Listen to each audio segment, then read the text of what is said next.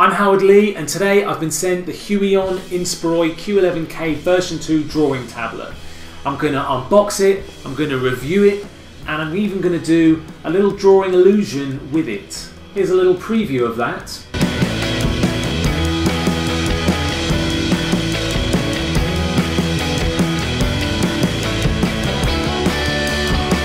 More of that later, if you want. There's more of it even if you don't want it, to be honest. Uh, that's basically what's mostly happening in the video. First, let's have an unboxing.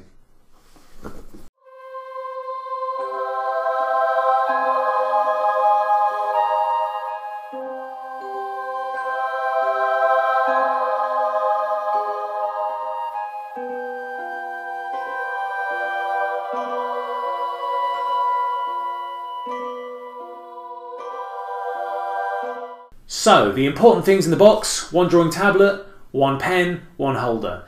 Here is a video of what I did, what I drew, and how it happened. Let, us just go to the video.